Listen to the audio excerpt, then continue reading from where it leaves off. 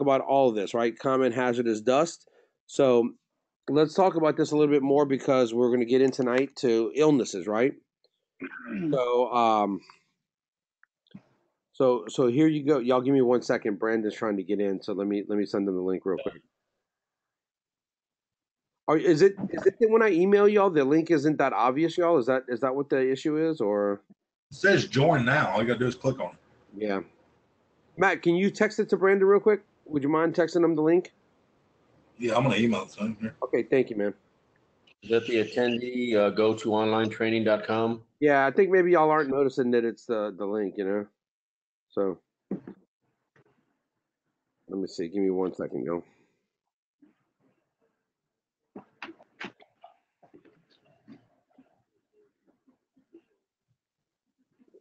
Give me one second.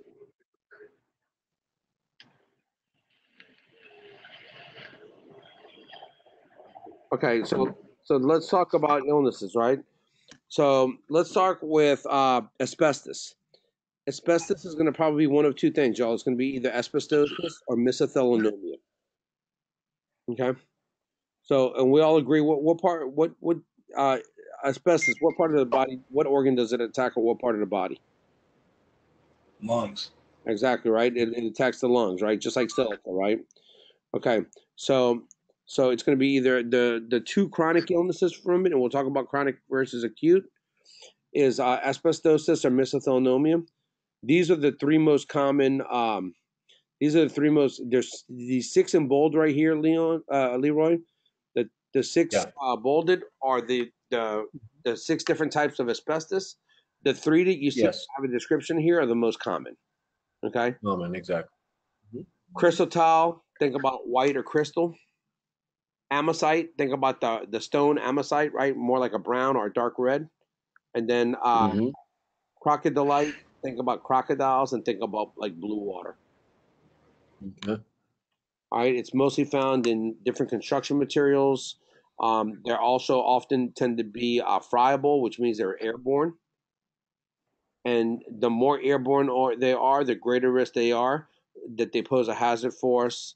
Um, and it's a greater hazard that they pose to us, uh, the more that it is friable or airborne, okay, or crushable. So friable, just think crushable and airborne is what the definition of friable is, the short definition. Uh, let's see. Uh, Like I said, Leon, that, that four hour webinar is going to run you through all this math and everything. Okay. All right. So now let me go to let let's go to the OSHA's website.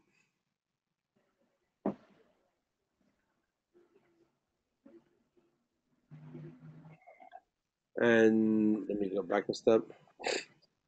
Okay, let's talk about right here. Let's talk about HAZWOPER. When we talk about HAZWOPER, y'all, we're going to talk about hazardous waste operations. Okay, cleanup, right, to spills or responses. We're also going to talk about the level suits again, Matt and Shelly.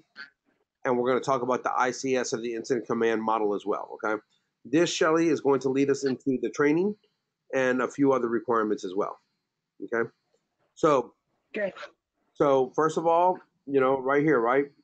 You know, if we have to clean up a spill or release, is what we're talking about. An unexpected spill or release, what's going to happen is that employees are going to have to be, uh, they're going to have to be HAZWOPER trained to their skill level if they're required to do any cleanup or any remediation. Okay. So where the law comes from is right here. This law comes from RCRA. Okay. It's the it's the Resource Conservation and Recovery Act. It's part of the EPA, y'all. So RCRA is the EPA. HAZWOPER is the DOT. Excuse me. RCRA is the EPA. HAZWOPER is OSHA. HAZMAT is the DOT. It's all built on the same standard. Okay. So what happens is a lot of it. Y'all, y'all, are y'all familiar with when they talk about Superfund sites? You know, talking about like massive cleanup sites. Mm, Y'all remember? somewhat. Y'all remember Three Mile Island? With Yeah. waste in New York. That was a Superfund site. Okay. We have um, a lot of Superfund sites down in the lower coast of Louisiana and a lot of the protected waters from from illegal dumping that happened in the 50s, 60s, 70s, and 70s, and even 80s. Okay. And what happened was these big these companies had to pay a lot, of, especially Chevron. They paid a lot of money to get some of these areas cleaned up in order to get them remediated from from illegal dumping. Okay. So so remember this, y'all. It's RCRA, right? R C R A, and Mhm. key to RCRA is cradle to grave. That means whoever births a chemical, right, or a drum or container, they own that container till the day it dies and gets buried or destroyed. Okay. So what happens is, think about a 55 gallon drum, right? If I got a 55 gallon drum of, of Chevron or uh, let's say what it was it Texaco before that, right? Of Texaco crude oil, Matt, and all of a sudden now that that drum is found in the middle of let's say I-10, right? In the rainstorm and there's hydrocarbons on the ground. That drum could have been made from 20, 30 years ago, y'all. That drum is going to get charged, and that cleanup is going to get charged to Chevron if it's Chevron's drum, unless Chevron buy uh, lot number and and and and serial number for that barrel can prove who it went to.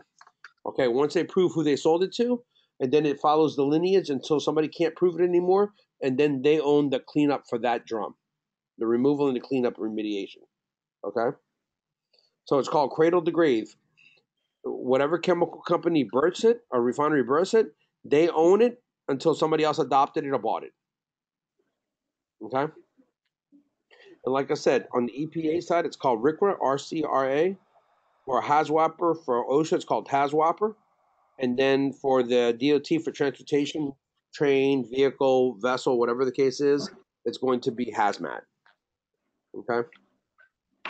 And then, um, and what are we talking about? Right? It's it's operations involving hazardous waste that are conducted at treatment, storage, disposal facilities is what we basically talking about. That's regulated by the EPA okay, by the Environmental Protection Agency. So, emergency responses for those incidental or accidental releases, okay, or even intentional releases is what we're looking at to clean up. OSHA adopted it, and why did OSHA adopt it? Because the EPA protects the public, and the DOT protects the, the roadways, airways, railways, all the uh, pipeline, all the all the five different modes of transportation. Okay, so OSHA adopted it to protect us in the workplace, but we also have EPA and RCRA protection as the public as well. Okay, so hazardous substances right here, cleanup operations. Um, what happens is that there's certain paragraphs we're going to comply with, and we're going to talk about them. Okay, so what's going to happen is is if we have a spill, we're going to wind up having to, to train our employees. Let me go to training first, and then we'll come back up. Okay.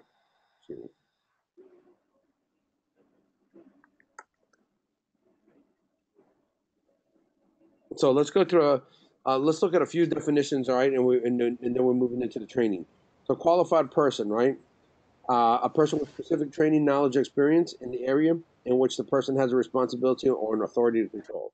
So if I have a qualified person who's running the cleanup operation, what did it have to be? They have to have knowledge, right? Training and experience in order to do that particular cleanup or environment. Okay. So um, like I said, we have to have certain requirements also for HAZWOPER. All right, we have to have certain requirements for HAZWOPER. This is what we're going to have to have. First and foremost, we have to have a written health and safety plan. Okay, that written health and safety plan is going to have have an organizational structure. Do y'all remember the other day we talked about um, ICS model, incident command, Leroy? Let me pull it up.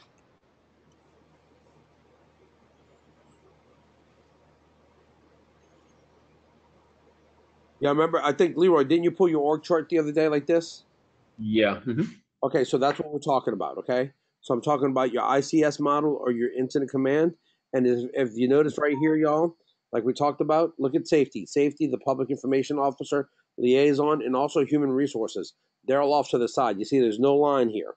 Okay, so what? So all of this is independent of all of these operations down here. Okay, but you have an incident commander. The person that's the incident commander is the highest ranking official at the time of the release of the spill. Okay, Uh, when we realize that we have a problem and that we're going into an emergency situation, as more seasoned or higher ranking officials come on site for that organization, for that company, or for that group of companies, responsibilities will begin to shift to whomever is the most responsible or and and or is the most seasoned uh, for an emergency response. Okay. So, like I said, we got operations, we got planning, we got logistics, and we got finance, right? Because we need somebody to fix the money and pay for everything. And these four are under the direction of the incident commander, and each one of them has different responsibilities. However, like I said, we are here and we are independent, so we're not above these and we're not below them. We're completely independent of them. And like I said, it's just because we're just the only line of command that safety should have is directly to senior management. Okay. Um, hey Doug, Yes. I I got the chart you gave me, the incident organization organization chart, the IS two oh seven. It's not it's not it's not the same chart. Okay. Well, they have different charts. It's a different looking chart. Um, do me a favor. Te- text me a picture of the one you have real quick, Okay. and I'm gonna put it up here. Okay. So it may be a different chart. So this is the thing. It doesn't have to be the exact same chart, Lee, uh, Leroy, but it's going to have pretty much the same um, offset. Okay, for public information, for uh, for liaison, and for uh, safety, it's going to have, end up having its own offset. So as soon as you text it to me, I'll I'll pull it up and I'll, I'm going to airplay it and put it up here on my on my computer. Okay. So let me go back to the standard while you're pulling that up for me. Should be on its way. Okay. I don't know if that's too dark. Let me try to get a better picture. Um, as soon as it comes through, I'll open it up. Okay. All right. So we have to have a. uh, Okay, I got it. Hang on a second. No, we're good. Hang on.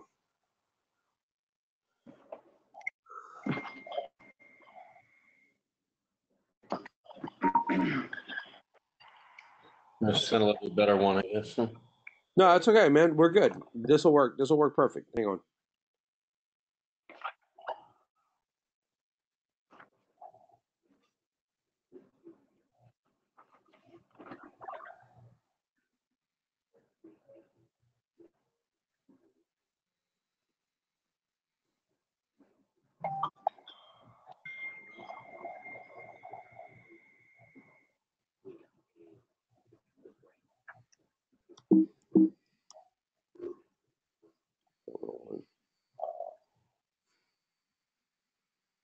All right.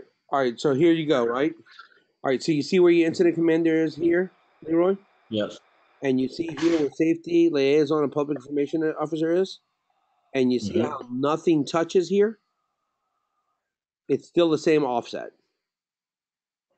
Okay. Okay. It's still the same offset, right? You have operations, one leg for operations, planning, logistics, and finance. So, so incident command branches down to operations, planning, logistics, and finance, right? Those are the four limbs. Okay, and then you have a separate limb, totally a separate and apart, which is the safe, the liaison officer, safety officer, and public information officer. Now, let me go back to the web to to the internet. And if you look at it, it might not look the same, but it's the same effect. Do you see what I'm saying? So we have these four branches here that are one each each branch or each limb, and then here, if you look at it, the same thing. They don't answer to anyone except for upper man to incident commander. Okay, so it's a different it's a different layout, but it's the exact same principle. So see here, would you agree with this? That safety has no authority over any of these groups. Mm-hmm. You look look right here. Safety has Yeah. no authority over these groups, right? It's in I it's agree. into itself. It answers only to the incident commander. So does public information. So does liaison. Okay. So now let me go back to the picture that you sent me again, and here you go. It's the same thing. See, safety comes out. It only answers to the incident commander. Okay. So they look different, but they're the same structure. Okay. Is that clear, or do I need to clear it up a little bit more? No, it is. I was just wondering. I mean, you explained it. That's fine. Yeah, don't worry about layout. They're both they're, they're both ICS 207. It follows the same flow chart. Okay, it just cosmetically it looks a little different. Okay. All right, so now let me go back to the website. All right, so we talked about ICS model. Um, let's get rid of the calculator. Okay, so we have to have the org chart. Matt, we have to have a comprehensive work plan, right? Exactly what we're talking about on those most of those questions, right? That uh, that it comes right back to uh, that it comes right back to comprehensive work plan. Okay. Also, site specific safety and health plan. So look, we got org chart, comprehensive work plan, right? The planning stage, right? Now we have our site specific. Now we have our health and safety training programs, our medical surveillance program, our operating procedures. Okay. And then necessary interface between the general uh, between the general program and site specific activities. So now what are we talking about? We're talking about site specific planning. Okay.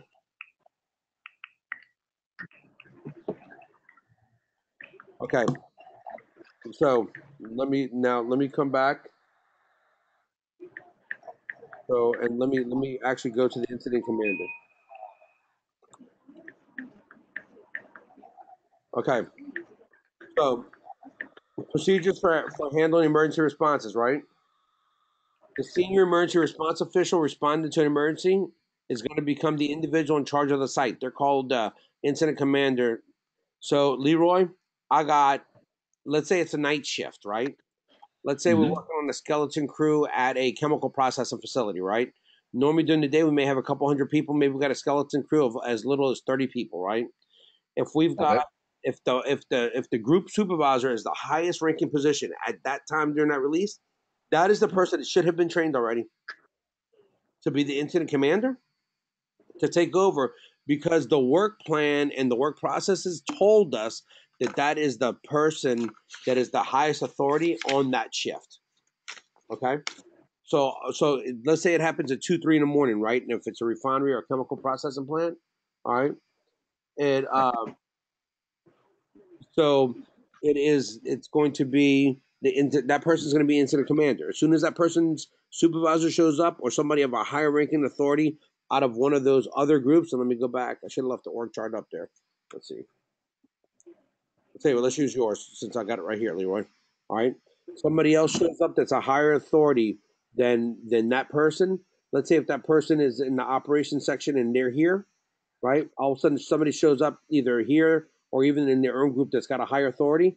They'll become the incident commander all the way up until you get to the GM or the CEO of the organization. Okay.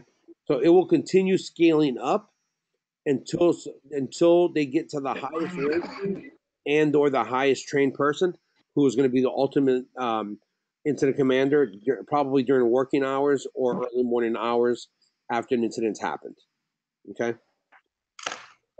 So so all emergency responders right and their and their communications shall be coordinated and controlled through the individual in charge. So it goes back to no remember uh, leroy here? We talked about communication and coordination that's exactly what we're talking about here. What we're trying to do here is make sure that there's not a gap in communication and that all groups coordinate and that they know what the hierarchy of command is. Okay? All right. So that's that's incident command right? So right here the senior official at an emergency response is the most senior official on the site who has a responsibility for controlling the operations of that site. That's exactly what i was talking about right now. Initially it's a senior officer right on the first on the first due piece of the of the responding emergency apparatus to arrive on the incident okay? As more this is what i was talking about right here leroy. As more senior officers arrive what happens is that position is going to be passed up the line until it gets up to the top. Okay? So it's always highest ranking and trained person to respond to the incident. And then uh, the individual in charge of the ICS, you know, to the extent possible, right? Uh, all hazardous conditions present, substances have to be addressed as appropriate site analysis. We have to use engineer controls in order to, um, you know, maximum exposure limits, uh, hazardous substances handling for procedures, and then use any type of new technology that we may have. What kind of technology? might be absorbent boom. It might be drain covers that are made out of uh, let's say like Chemtech or Tyvek material, suit material, okay, might be airbags or or some type of uh, or um, or plastic covers that we put over site drainage because the whole key is this, right? And I think most of us know this that if we release a chemical, a chemical or some some type of hazardous chemical, the number one responsibility is to make sure it doesn't hit the water. Okay? We don't want it in the land, but at least that land absorbs and we can remediate land. But if it hits drainage, like site drainage, right? Collection basins, swales, let's say, if it hits any of tributaries that may run into a creek, right? A river, um, a pond, a lake, that's where we're most at concern. Because remember, the, the density of most chemicals, y'all, is less than one. So that means that it's going to float. Most chemicals float on top of the water, and they often expand 17 times, 1700 times over water. Okay. Y'all ever notice that, like, when you see somebody filling up a boat and they drop a few drops of gasoline or diesel, you ever see how much it spreads over the uh, over the water? Mm-hmm. It's because most of that spreads 1,700 times over water, up to 1,700 times. Okay. So also based on hazardous substances or conditions, right? The individual in charge is going to implement appropriate emergency operations. Here's the thing, y'all. If we don't have, you know, we have to have people that are trained to do their job. If we don't have, um, if we don't have people that are fire extinguisher trained, we can't use a fire extinguisher.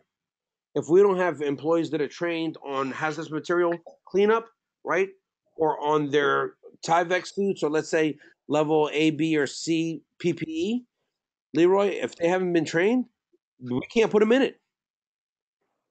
We just got to wait until somebody qualified to do the cleanup and appropriately donned, right, donning and doffing our PPE to do that's been trained, that is authorized to do the work, and that has adequate protection can do the work. If not, we can't. We can't. Unfortunately, we can't stop those hazardous chemicals. Okay.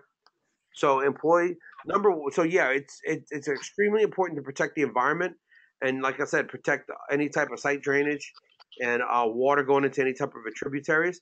But it's even more important to protect the employees that we have on staff.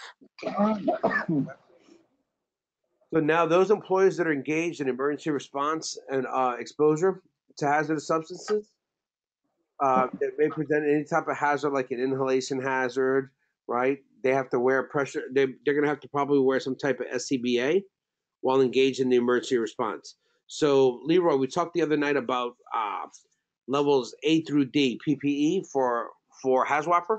I'm about to talk about it again. Okay.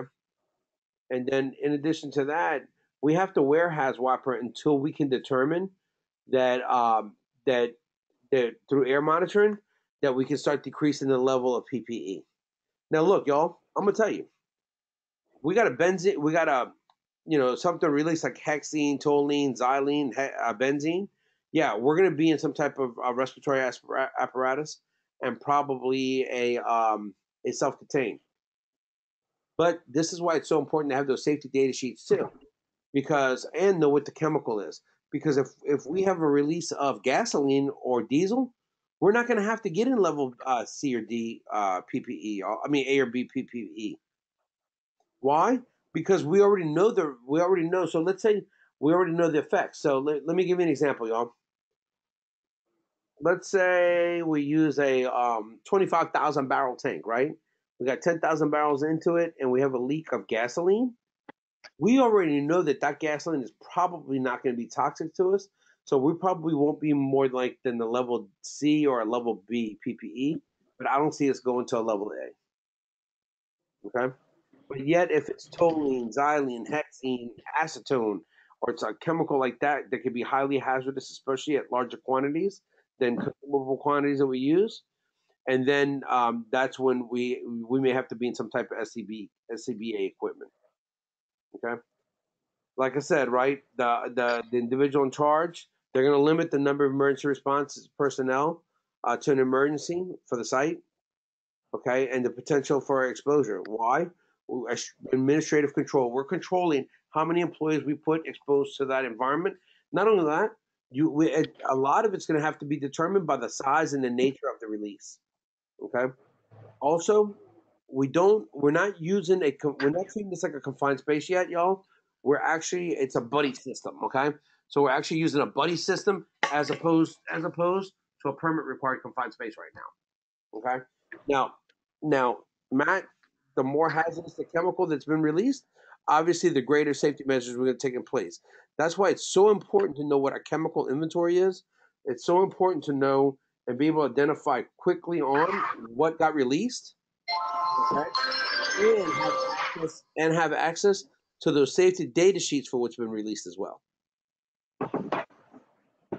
Now, the, the individual in charge of the ICS has to designate a safety official who's knowledgeable in the operations are being implemented for the emergency response site with specific responsibilities, right, to identify and evaluate hazards and to provide direction with respect to the safety and operations uh, for the field at hand. So doesn't it kind of sound like a doesn't it almost sound like a competent person responsibility, at least for the knowledge base and the recommendations we're going to put out? Yes. You know, but Matt, this is the way I look at it. Okay, if you take the definition of a of a competent person without the authorization to take prompt corrective action, that now we're only recommending prompt corrective action, and then we're going to probably meet this responsibility. Okay, but we have to be trained. What kind of trained? Either HAZWOPER 24, HAZWOPER 40, depending on what exposure we're going to have. Okay. Um, when activities are judged by the safety official uh, to be an IDLH condition, remember we talked about the other day. Let me go to this. Okay. Remember, I, I don't recall if y'all remember this or not. I told you that um, that we agreed that imminent danger is the greatest hazard, right, in the workplace. And um, and let me pull up 1910 146. Got 1200. Let's see. Let me go to definition of. Let, let me go to definition of uh, IDLH, y'all. I want to make sure that we're on the same page. Here's the definition of IDLH. It means any condition that would interfere with an individual's ability to escape unaided from a permitted space or that poses a threat to life or that would cause irreversible health or health effects. So just because every employee is in the work area doesn't necessarily mean that they're exposed to IDLH hazards, okay? Now remember this, y'all. IDLH, okay? IDLH is also imminent danger because imminent danger is any significant risk, but not all imminent danger is IDLH. Okay, IDLH is strictly atmospheric in a confined space. Um, also, um, after the emergency operations right have terminated, the individual in charge of the ICS has to implement automatic decontamination procedures. So, what are we talking about? We're talking about setting up. Uh, hang on a second. Let me see. Like hot zones, warm zones, cool zones. So,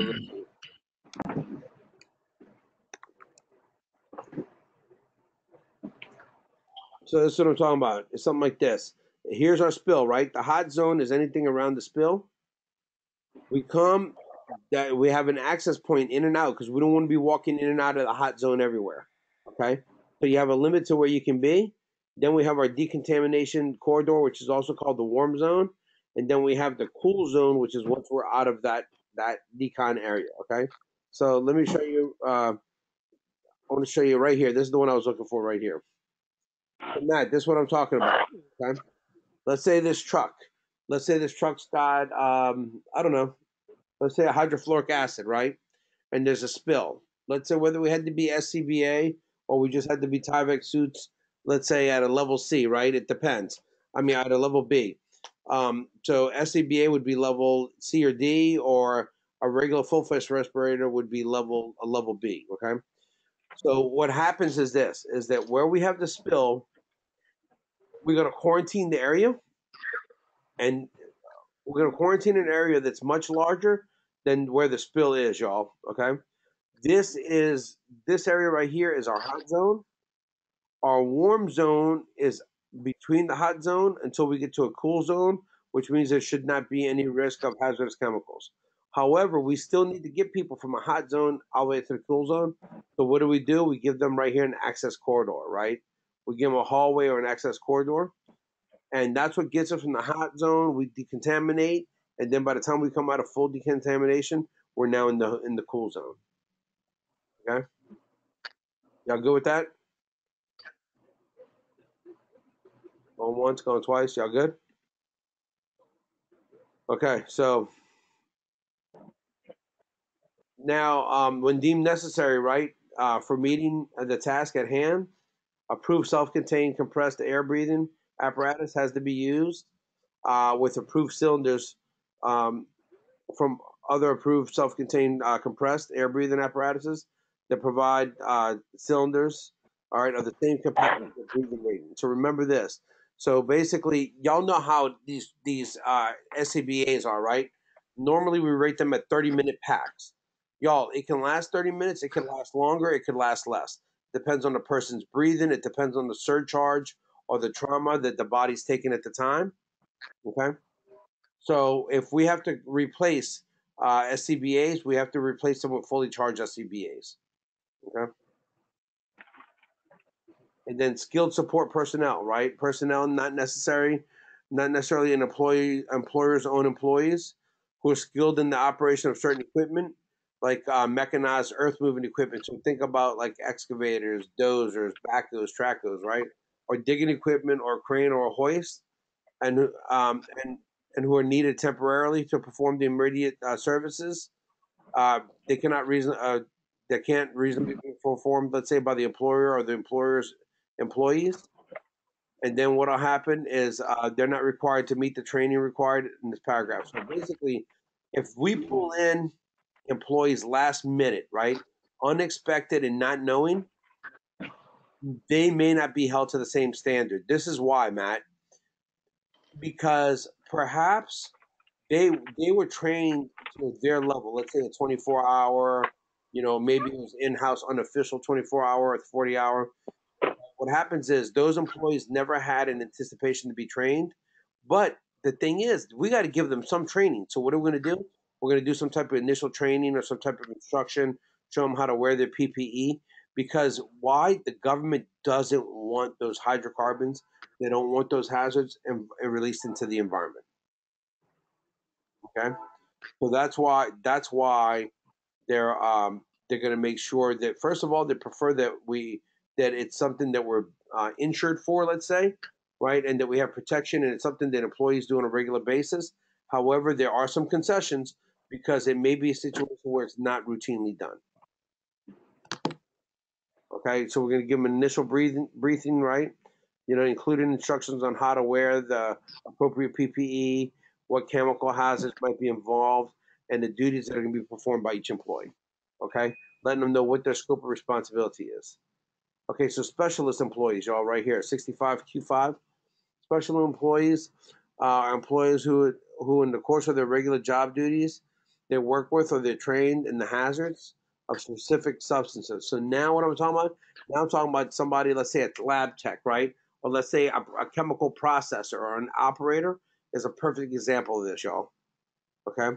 Why? Because that's their technical work, and it's the belief is that they would they would be involved in the in the hazardous substance cleanup, okay, or to be able to mitigate any losses or damages. Okay, and then here we go here's the training.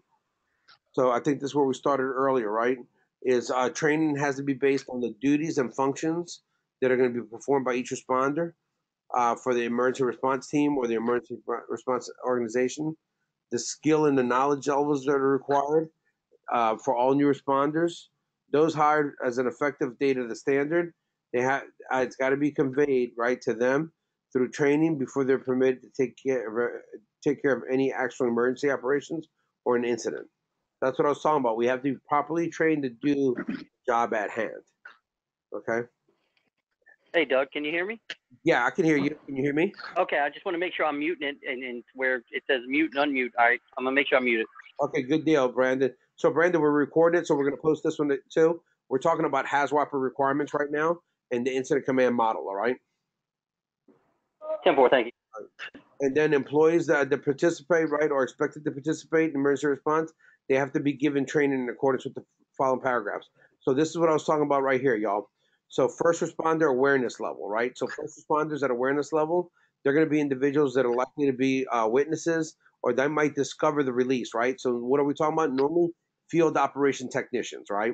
And um, and then they have to be trained to initiate the emergency response, okay, in the sequence on how they're going to notify supervision or the authorities of the release. Y'all, this is an EPA requirement and it is a Coast Guard requirement if there's navigable water that proper authorities have to be notified. Okay, it's not like oh Matt, we're waiting for senior management to come in. Nope, employer. It's the employer's responsibility.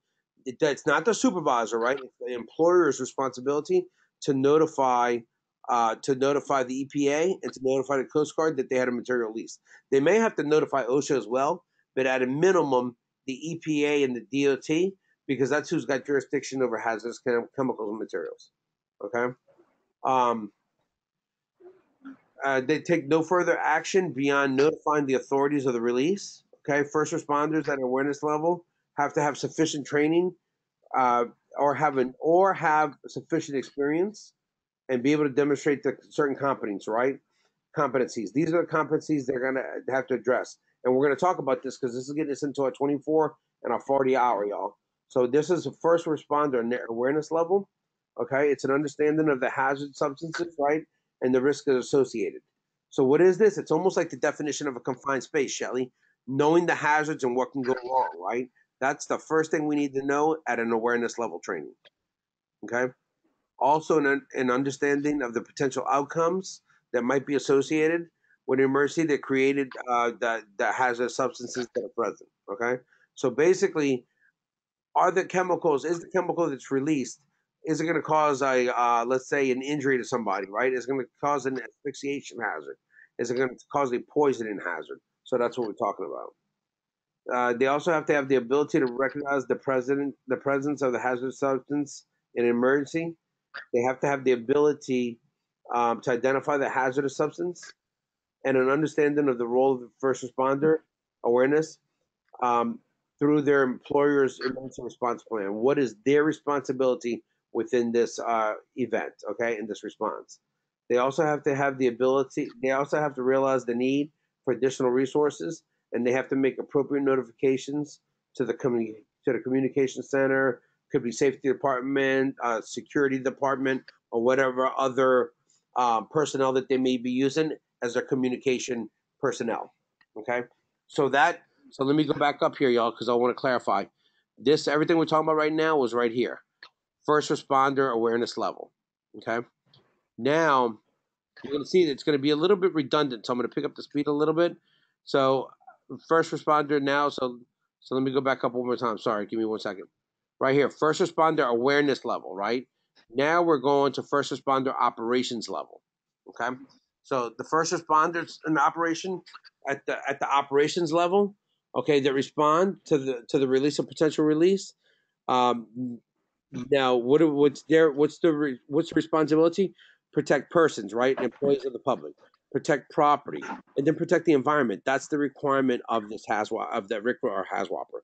Okay, um, they're going to be trained to respond in a defensive fashion. Would actually would actually not trying to stop the release. What they're trying to do is guide them the chemical or the hydrocarbon, like I said, to stay away from basically to um, to drainage or tributaries that may put it back into, like I said, any type of water, waterfront or tributaries. Okay, uh, their functions to clean to contain the release uh, from a safe distance, keep it from spreading and prevent exposures. And the first responders at the operational level have to receive at least eight hours of training. Okay, or again, look at this, Matt, or again have sufficient experience. Okay, all right uh, in order to uh, demonstrate competency in the following areas, uh, and um, in addition to any listed awareness level training, okay, or knowledge. So, y'all, let me ask you a question: How many times do you out there and do you hear that oh, those employees have to be HAZWOPER 24 hour trained or HAZWOPER 40 hour trained, right? You know what I'm talking about? Yeah. Okay, but OSHA puts in a caveat to that. Now, Shelly, these employees still have to be trained, but it may, but but they'll, it'll go back to the 1926-21 standard, where they have to be trained to recognize, right, and avoid a hazard and report it, and or try to eliminate it or mitigate it. Okay, so it's going to always go back to the general duty hazard. The reason is this: now they don't want employees being exposed, but we can't afford for this sucker to get into the water. Okay, like I said, once it gets into the drain, site drainage water, or now it gets into like a waterfront property, now's a significant risk because it's bad enough it's on land, but at least when it's on land, Matt, uh, Brandon, it gets absorbed, okay, and it's controlled, okay, for the time being. Now, so so this first responder operations level, they have to have at least eight hours. They have to have at least eight hours, or they have to have sufficient experience. And I'm gonna show you where this comes into play because I, I deal with this a good bit with clients, okay? Okay, so they have to have knowledge of basic hazards and risk assessments. They have to know how to select and use a proper PPE, right? Whatever level they're going to be using. Um, they have to have an understanding of uh, basic hazardous materials and their terms. They have to know how to perform basic control containment, uh, confinement operations uh, with capabilities, right, of, of, of resources. Okay. They also have to know how to implement a basic decontamination procedure. So, what am I talking about? Something like this I think I, I think Brandon, this right before you got in, right? Employees have to know how to set up a basic decontamination procedure where the hot zone is the hot zone. And then y'all ever seen when they using um let me show you what I'm talking about.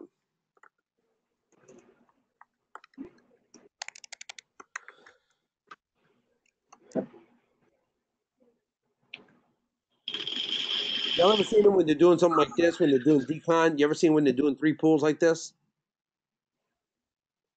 Y'all know what I'm talking about? Yeah. They're Yes, sir. decamin, Yeah. Okay, see this right here, y'all? This right here is that right there is this blue zone right here. Okay, Shelly? yep, That right there is the blue zone. That here is the red zone. Okay, they're coming through the blue zone, which is also in between the yellow zone, and they're going to try to get to the green zone or the safe zone.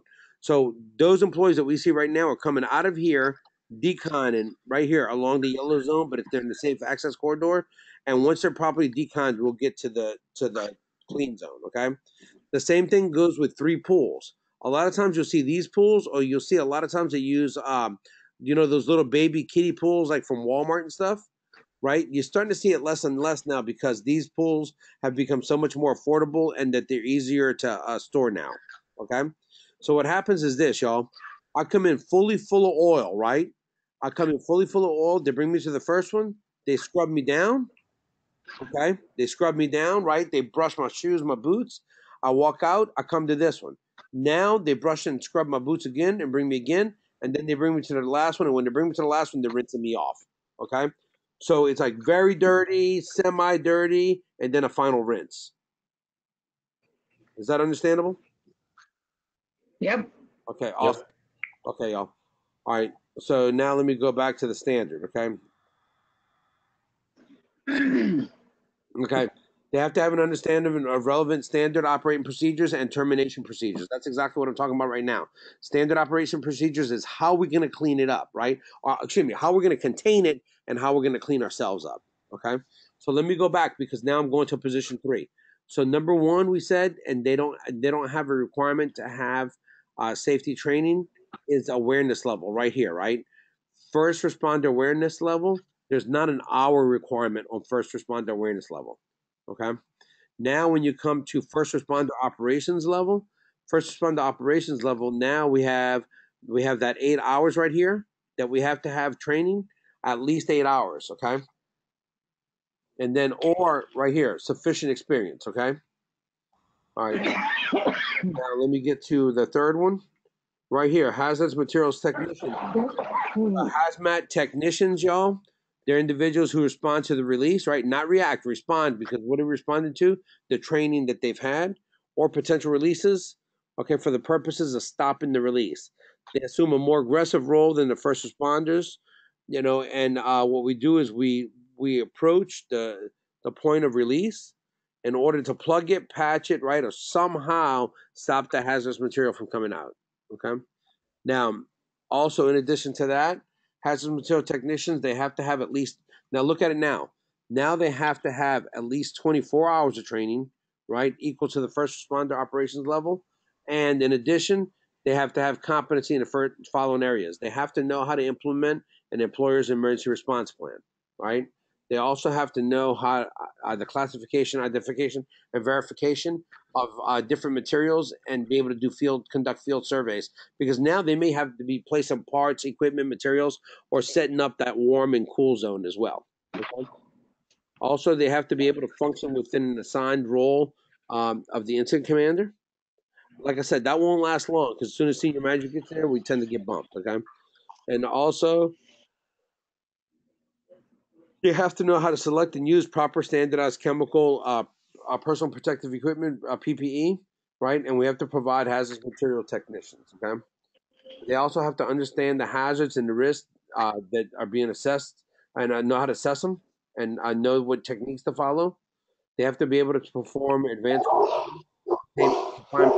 So what am I talking about now? So now I'm talking about like a soft boom, hard boom. So let me let me go to it.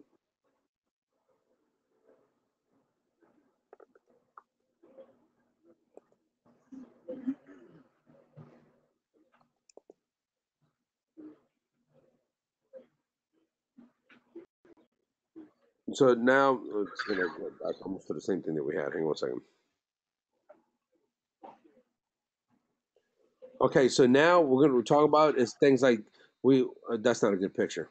We're gonna start doing things like like this, right? We're gonna start cataloging. We're gonna start separating our work zones, y'all. We'll start separating our work zones. We're gonna have decon zones. We're gonna have a hot zones. Anything that's been contaminated, Shelly. If we have any barrels, equipment, tools, materials, trucks, anything, we um we're gonna go ahead and uh what's the word I'm looking for? Uh not confiscate, but uh, we're gonna uh, quarantine that information, that equipment. Okay, we're gonna quarantine that equipment, y'all, until we can safely decontaminate it and get it back into the work environment, right? Or let them take it home. So right here, anything that's in a hot zone, we can we're gonna decontaminate it.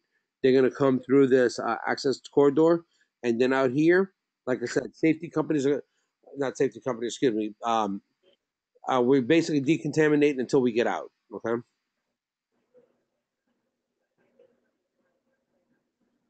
Uh, also, uh, understand and implement decontamination procedures, like I was talking about. Know when to terminate the procedures, okay, and then have a basic understanding of chemical and toxicological terminology and behavior. Where do we get this, y'all? Right?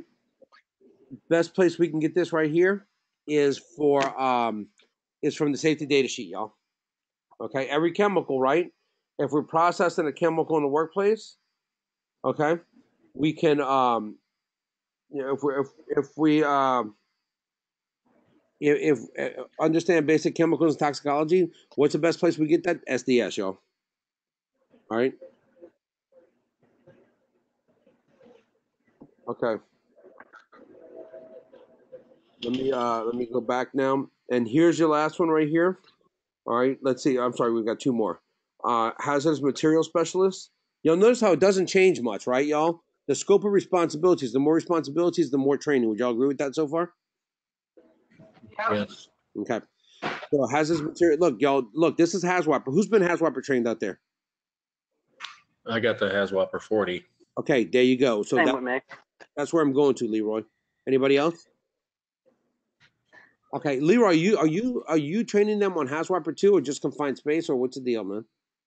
Um, yeah, I'm not getting into that.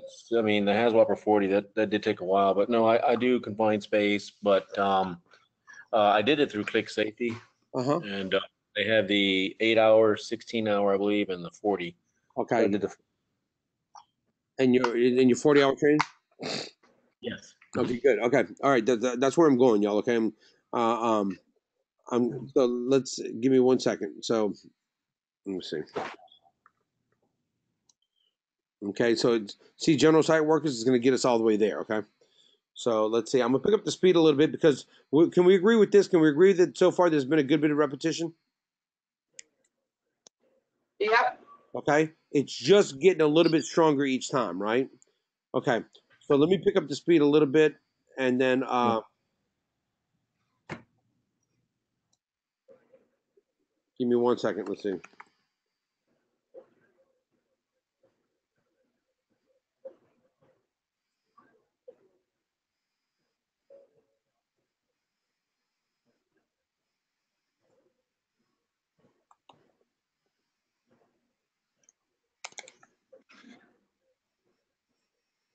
Okay, so a hazmat technician, right? Materials technician.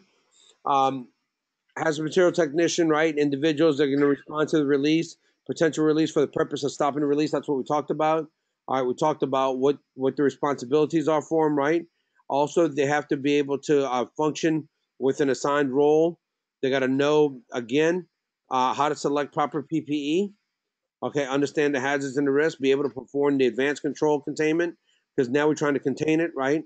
Understand and implement decon procedures that we just talked about. I just ran you through. Also, how to terminate procedures. Now, look, I'm going to tell you, terminate procedures doesn't mean it's cleaned up. It means, you know what? It's beyond our scope of uh, understanding, right? Or physical ability to clean it up. And we may have to cut bait on it. Okay. We may have to evacuate the area.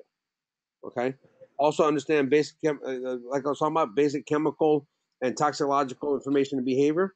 All right. And then uh, hazardous material specialists, right?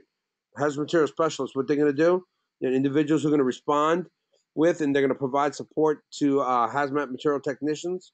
Duties are going to parallel the ones of a hazardous materials technician. However, this is going to be the difference right here. Uh, their duties are going to require more directed and more specific knowledge of various substances uh, that they may be called to contain. So let me tell you, a lot of times what you'll have here is you'll have um, people like industrial hygienists, Matt, uh, industrial hygienists, or you may have uh, lab or tech employees, okay, that are going to be able to uh, doing collections, okay, and then or sampling, and then also hazardous materials specialists. They're going to have to have received at least 24 hours as well, okay, and then they have to know how to implement again in the local emergency response plan. All this is the same, y'all. All right, understand the classification, uh, verification of unknown and known substances. They're going to have to know that. buddy in a second? I'm sorry. Can I buddy in one second? Because. I just remembered something of, can you also talk about sampling? Like grab sampling and things like that too? Yeah. Sometime within this deal, I'm just, I I just uh, remembered a few things, so just some Yeah. different sampling. Okay. So so things like this, right? So look, y'all, I'm not gonna keep on I'm gonna get us to the 40 hour. Everything was 24, I'm gonna get us to the 40 hour, but let me grab the grab sampling real quick. Shelly, here you go, okay? So we're gonna have to have we agree that we have a hazardous chemical and that we've got to release. We agree with that so far for HAZWOPER, right? Yep, Okay. We also agree that employees can only do their level of work for which they've been trained and to, to the point to where their exposure can be controlled. Do we agree with that? Yes. yep. Okay, good. Okay, now let's talk about medical surveillance, right? We got medical surveillance requirements. Brandon, you and I, right? You, Brandon, didn't you work the spill?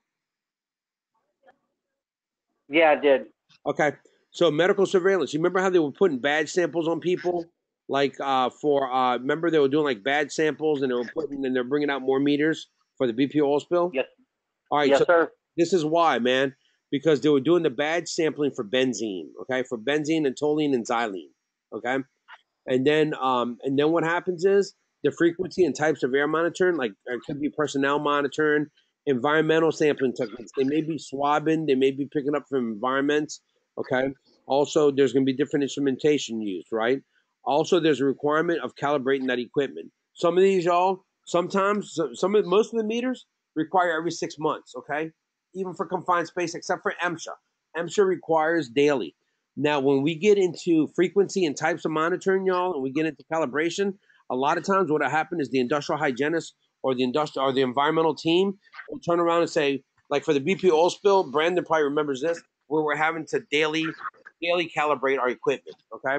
That way we were assuring every day that our meter was reading what the meter said we were reading. Okay. We also have to goes back right side control measures. Um, but that's that's what the sampling. Let me see. Let me see if they talk where else they talk about sampling, y'all. Hang on a second. Okay. Well, it's, it's also, I'm just saying that there's the bag, there's like four or five different samplings, like a bag sampling, a, there's four or five of them, and I don't remember all the rest of them. Okay. So here you go. So so after cleanup, right, and phases, right, do- we're gonna have we're gonna do soil sampling. Is that what you're talking about, Shelly? We're gonna do soil Uh, sampling. it really wasn't so much soil sampling. It was like, uh, uh, for some odd reason, what comes to mind is like um, a direct sampling or something. And additional sampling and there there was, there was like four or five different samplings. Okay, I can tell you this. I can tell you from experience on a release, y'all. Let me, let me, let me. Instead of reading it, let me tell you what we sample. Okay. We, we do badge samples. Let me show you what a badge sample looks like. Okay.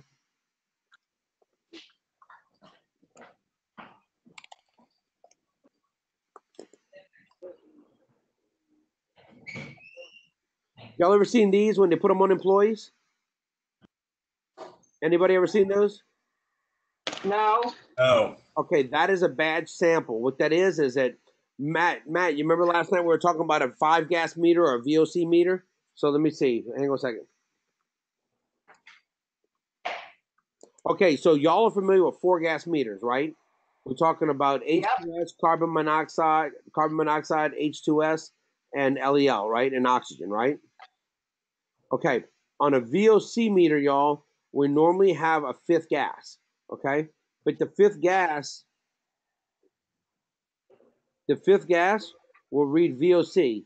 Okay, so look, will you kill that one. No, that one's got hydrochloric. Hang on a second.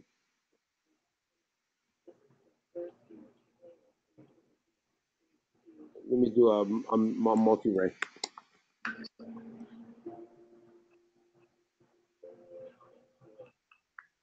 Some of these, y'all, just to let you know, it even takes it to gamma rays now. Okay. Okay. Okay, this one, this is traditional what you guys are reading right here, right? Oxygen, H2S, CO, and LEL. Do we agree? Yeah. These four. Yes. Okay, here instead of CO2, Shelly, a lot of times what they'll do, they'll put a photoionization detector in. You reprogram the meter, and it's going to read for VOC, volatile organic compounds. Okay, so volatile organic compounds are the compounds like in toluene, xylene, benzene that are the most harmful to us. Okay, so what happens is is this is that let me let me take us to it. Matt, remember I was talking about most of these have a sensor. Okay, so air meter sensor.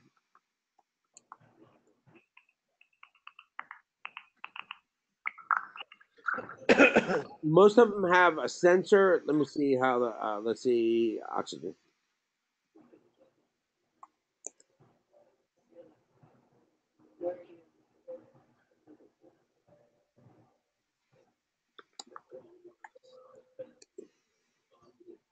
See these sensors right here? This is with your oxygen, with your LEL, with your carbon monoxide, and with your uh, CO meters. This is what they'll look like, Matt. Okay? This is RAE Systems, but they all look pretty much alike. Okay? There'll be a little bit of difference in variation, but they're really close. All right? Now, let me show you what a PID looks like.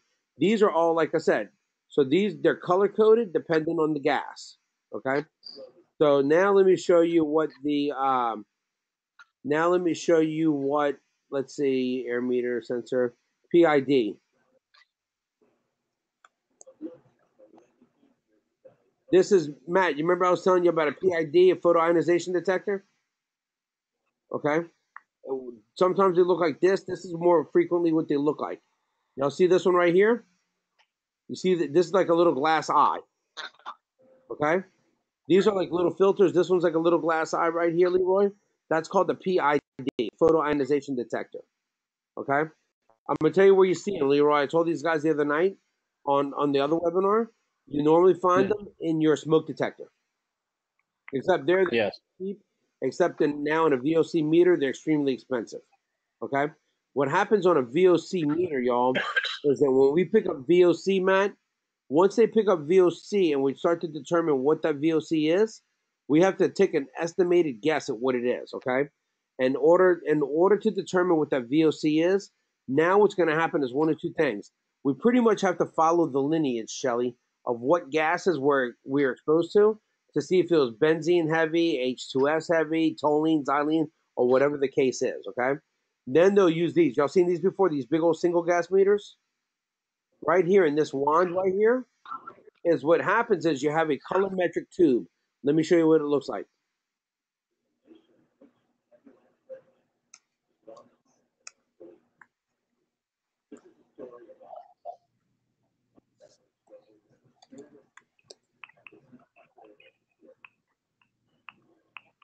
Y'all seen these before in the workplace? Anybody? Um, Yes, no. sir. Okay. So so so let me tell you what that is. These right here, these right here, they're called the colorimetric tube. All right, Matt. What happens is if you put it on a pump like this, you put it on the pump and you compare it to a sheet of paper. Okay. On a comparison chart.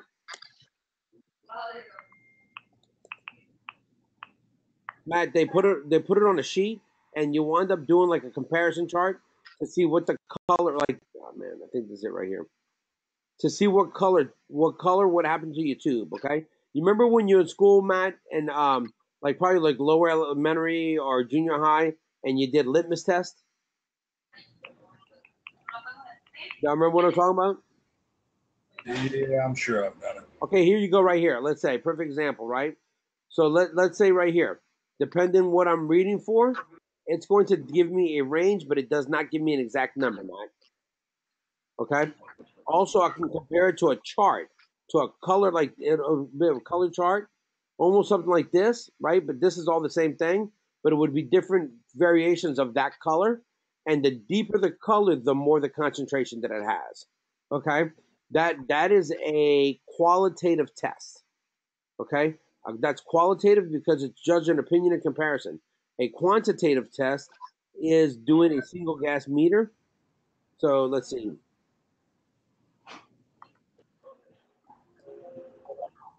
So doing being a single gas VOC meter, that colorimetric tube that we out goes in that syringe, and it's called the pump, and that's for a that's for a qualitative test, Matt. This is for a quantitative test. This is a single gas meter, and it's going to read one chemical depending on what we have it programmed in, and that colorimetric tube is going inside this spiral bound in this hose. Okay, so that so that colorimetric tube is used for qualitative testing, and it's used for quantitative testing. Okay. Now I don't want look, y'all. I don't want to get too far off on meters because I'm telling you, we, we can talk about meter. Brandon, can we not talk about meters all night? Okay, so Yes, sir. We can all night long. yeah, it's y'all. It's just it's too much information, right? So let's do this. Do we agree that these are most of your sensors and the color code is for the gas that it's reading? Do we agree with that? Okay. And then your your PID. So Shelly, I'm not going to go any further than that because we'll never get out of it. Okay. Here's your PID. That's what I'm talking about. That's your PID. That reads your volatile organic compounds: benzene, toluene, xylene. And then once this picks it up in the meter, when the meter picks up a VOC, and then we have to go to what I just showed you, which was this colorimetric, this the single gas meter, or the colorimetric, or the colorimetric tube that I just showed you. Okay, so that's what happens with a single gas. Is that regardless, we're going to have to have a color a colorimetric tube involved in the um. We're gonna have to have these colorimetric tubes involved whether we use this, which is a qualitative testing equipment. It gives us a range, and you compare it to the, like I said, to a comparison sheet, and it's it's written on there by parts per million or hundred parts per million or billion sometimes. All right, or you put it into the right meter with the right setting with the right tube, and it'll tell you, it'll give you a scientific calculation of what it is. So these are called pump techs or pumps. Okay. All right, so let me go back to different types of sampling. Shelly. Okay, so let me let me tell you now, y'all, what we're sampling because I want to kind of move on from this. Okay, so we may be doing badge sampling. We may be doing area swabbing. Okay.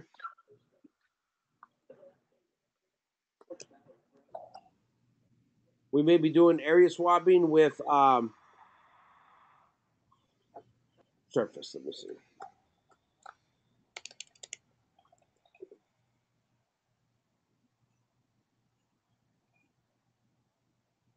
Where we're swabbing areas. Like we'll take something like this, right? They'll take a certain area, right? As per the instructions of the manufacturer, we may swab a square inch, we may swab six square inches or a square foot. It depends on what the manufacturer tells us to swab, okay? Depending on what hazardous chemical we're looking for. So we have area swabbing, we have badge sampling, we have four gas, we have single gas colorimetric tube, right? For qualitative and quantitative testing. We have water sampling, we have soil sampling. All right, Shelly, did you read up on any more than those than the ones I just mentioned? No. I'm sorry. What did you ask me? I said, did you read up on any of more of the ones than, than other than the ones that I just asked, that I just mentioned? No, I'm, you know, there's just some, some, like the grab testing and, and, and things like that. I do know that they mentioned that in there. Yeah, And, that's, You know, what I'm talking about right now is grab testing. Now, another thing we can be doing is grabbing a sample from the from the product. Like I said, soil sampling, grabbing from the liquid product itself. If once it hits the water, we'll do water sampling. All of those are grab samples, y'all. We're grabbing real Okay. time. We're grabbing real time, but we're not assessing real time because it's not always that fast. Okay. If you know, sometimes we have to send it off to a lab. So what's the fastest way to have it? Is it electronic testing or qualitative testing? Okay. So when we talk about grab samples, Shelly, we're talking about all of those.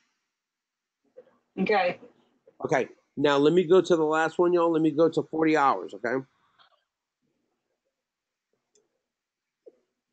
General site workers, okay? Laborers, right? Equipment operators, supervisor personnel that engage in hazardous substance removal. So you remember the BP oil spill, and let me show you who's doing the 40 hour, okay?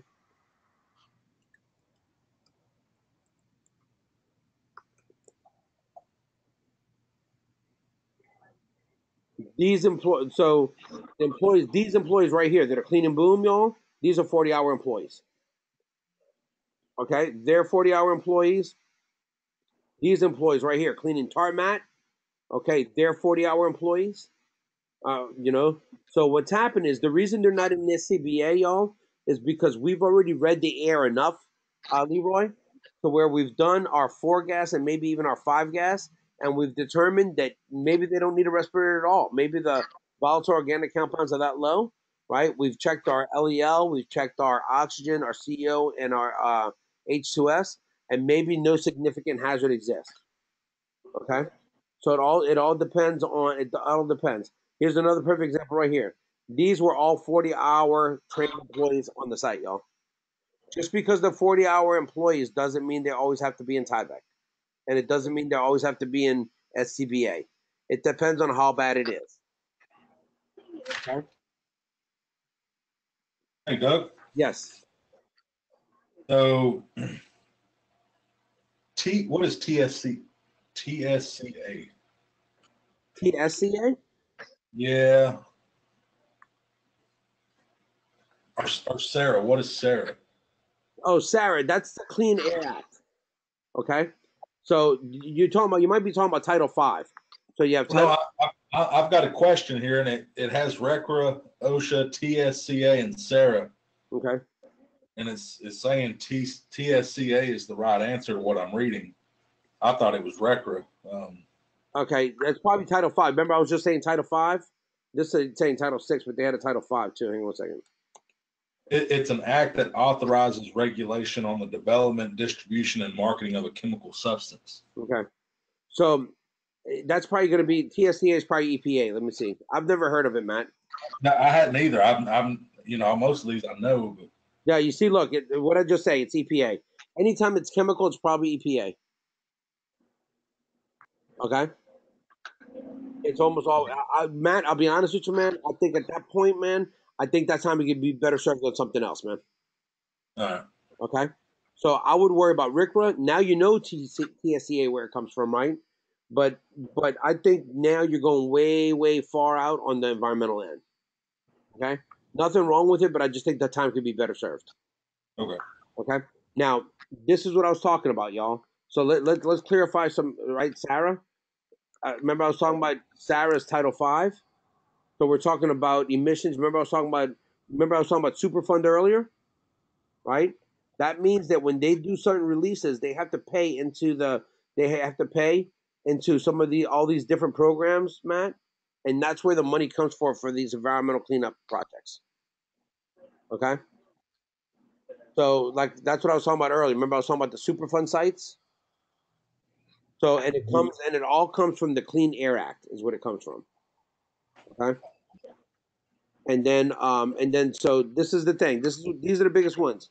EPA RCRA. Resource Conservation Recovery Act. Okay, that's EPA. Okay. OSHA took EPA and they created HAZWOPER. They took RCRA, right, and they created HAZWOPER. All right. So this HAZWOPER is OSHA, okay, and they it's modeled off of the EPA's RCRA Act right here. You see it? See what I'm talking about? And then you have the DOT, Matt, okay? Which is hazmat.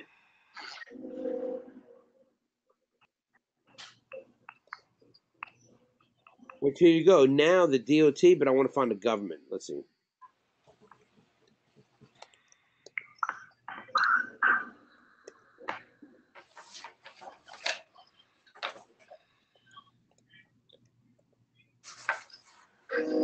So this is what I was talking about. You see, US DOT hazmat, that also follows the EPA RCRA standard. Okay? So RCRA's EPA. The DOT adopted it, y'all, and created hazmat. Protect the drivers, protect the public in the roadways, right? All, all, modes of transportation. OSHA adopted ha- uh, RCRA, and they created HAZWOPER. So HAZWOPER, RCRA, and hazmat, Matt, are- are ba- all based on the same thing, all based off of RCRA. Okay. Okay. Look, let me tell y'all something. To the point to where we had a client, Leroy, that had to have eight hour RCRA, eight hour hazmat, eight hour HAZWOPER, Matt. We found in the standards where one where HAZWOPER covered RCRA and HAZWOPER covered uh uh hazmat. Okay. So let's say hazmat training, right? That's how much weight that's how much weight um, OSHA has. Okay, so here here's here's the training modules, right? And let me see if this is the one that says it.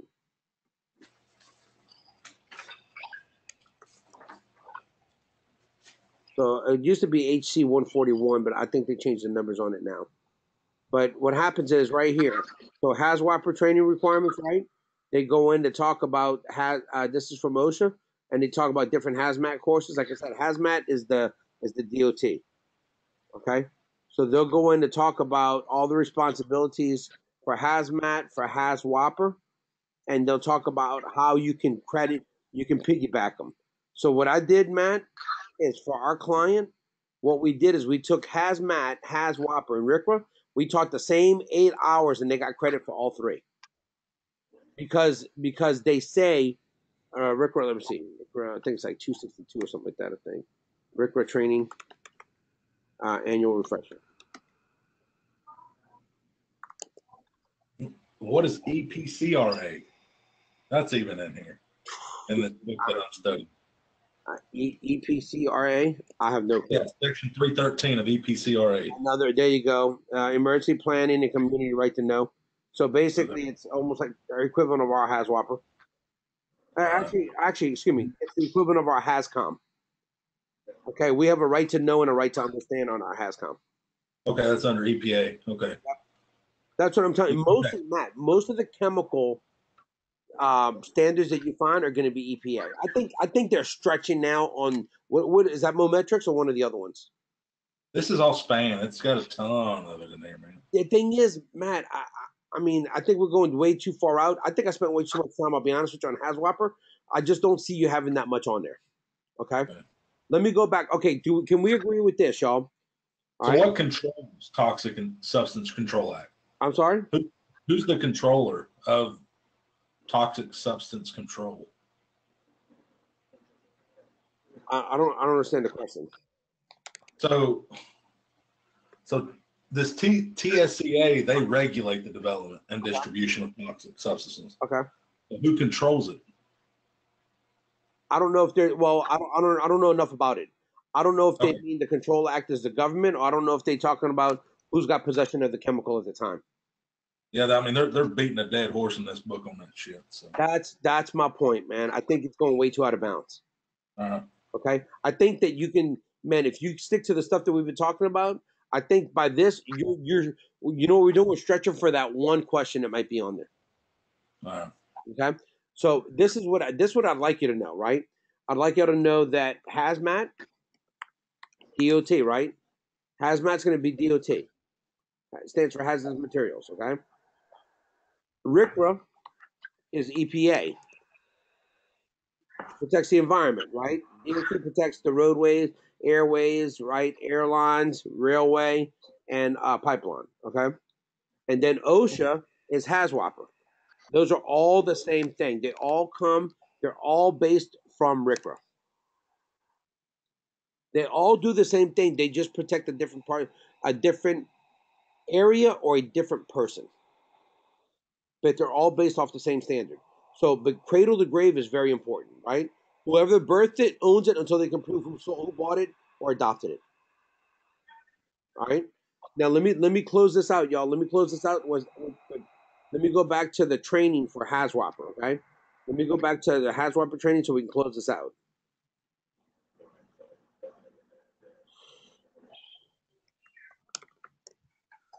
All right, general site workers, 40 hours, okay?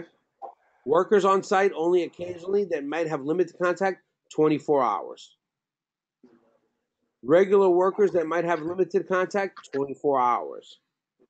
Workers with 24 hour training, right, that are covered in the section, they might become general, if they become general site workers, you have to add 16 hours. Why? Because general site workers have to have 40 hours. You see what I did? Mm-hmm. Okay. Site managers, 40 hours. Okay. Now look at this. Training might be reduced to 24 hours and one day of one day of field, right? In the area where employers are covered. Okay. So there's certain requirements that if they're if they have limited contact, we can reduce their hours if we don't expect them to be overly uh, uh, overly exposed to that environment. Okay. So so look, if it's a first responder that all they do is report, zero training, right? If it's somebody that's supposed to block it off and not let it get into the drains, eight hours. Anybody who's going to be close to it might get affected by it, but doesn't have a specific cleanup requirement, 24 hours. Anybody who's got to clean it up, 40 hours. Is that cool? Yes. Y'all want me to repeat those or we got them? One more time. Okay. Employees who recognize and all they do is report, no time limit training. Employees who rec- who recognize the release and are required to start throwing out boom or covering like uh like drain, you know, drain culverts and stuff like that, 8 hours of training because they're not touching the chemical, all they're doing is just covering everything so they might come into incidental contact. Okay? Now, employees who might have a minimal contact or, or, um, with a cleaning environment, right, or disposal, 24 hours for supervisors and employees that might have some incidental contact because they're working around it, but they're not necessarily cleanup workers. And general site cleanup workers and supervisors, 40 hours.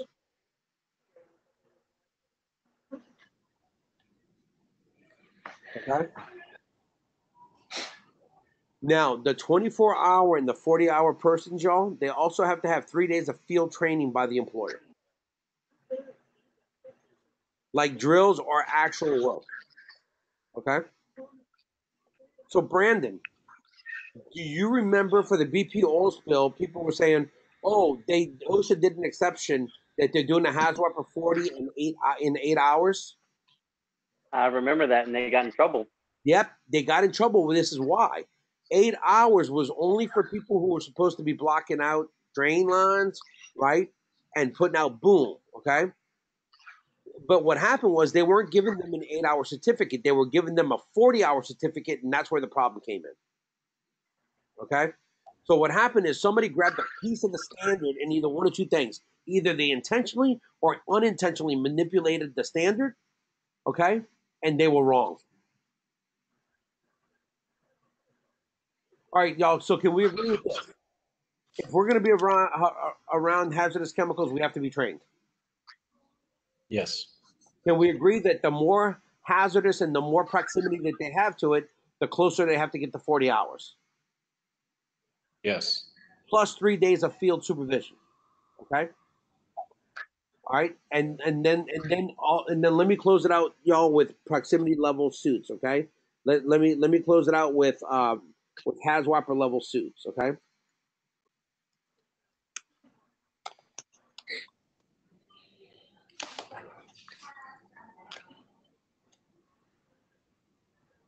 right here.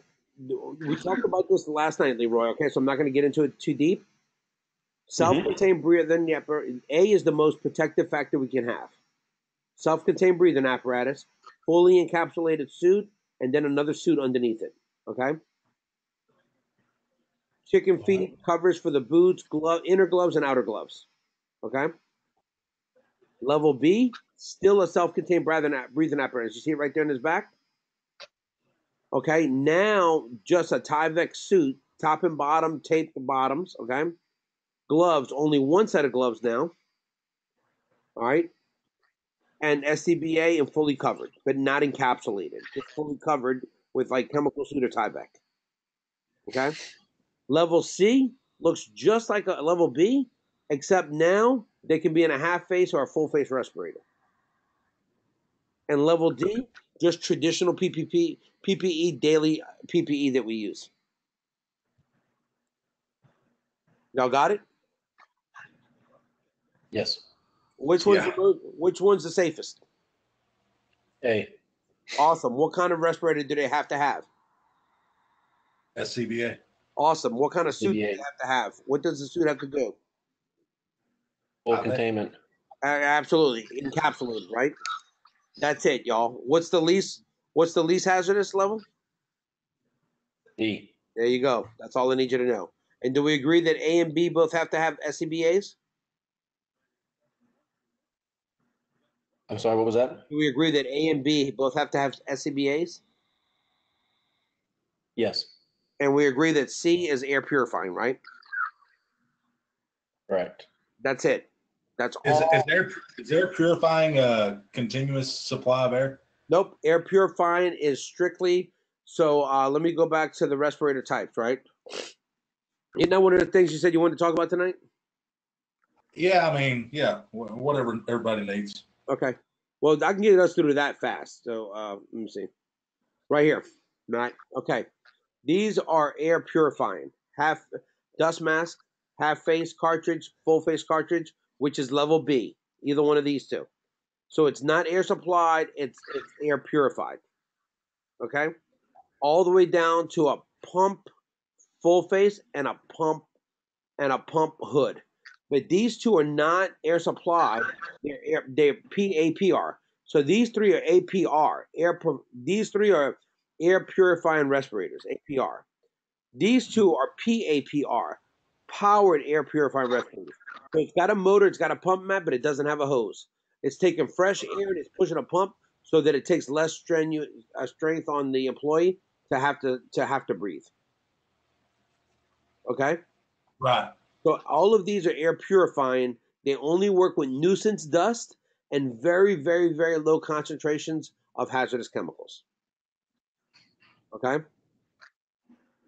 These three are air supplied. SCBA, which is a tank on our back. These two, air supplied line with a full face respirator, air supplied line with a full hood. Okay? So these two are a line that's supplying air. This one's a tank that's supplying air. These three are air purifying. These are the three that we go into an oxygen deficient atmosphere, and we also go into highly toxic atmospheres with these. And the safest of all of them is SCBA. Why? Because we carry the air ourselves. That's why with HAZWOPER, we can't have an airline. It's got to be SCBA. Okay? You want me to show you another way to remember that SCBA is the highest strength? Do firemen go in with SCBA or do firemen go in with airline hoses? SCBA. There you go. Why? It gives the best safety protective factor. You're carrying your own air on your back. Right. Okay. With SCBA, y'all, with these two right here, Leroy, with these two, you have to have a emergency pack You do not have to have an emergency pack. It's a best practice, but it's not required with a um, with SCBA. Okay. Matt, do I need to elaborate on these a little bit more for you? No, you're fine. Okay. Hang on one second. Leroy, can you hear me? I think Leroy Leroy might have fallen off, y'all. Hang on one second.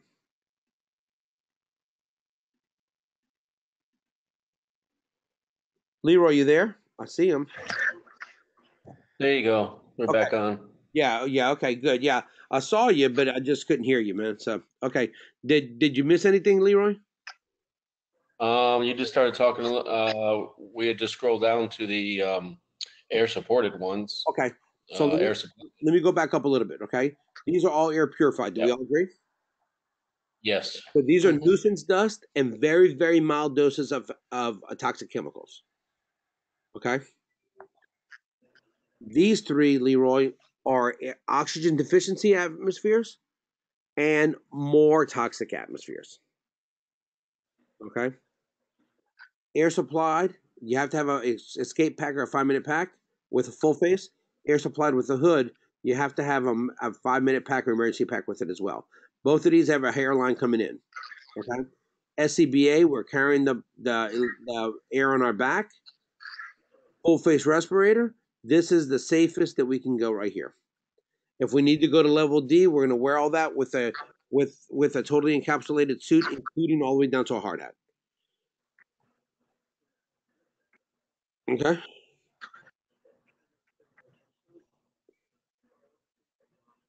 Yep. Does anybody have any questions about that? Does anybody have any comments they want to add? Shelly, Matt, Brandon?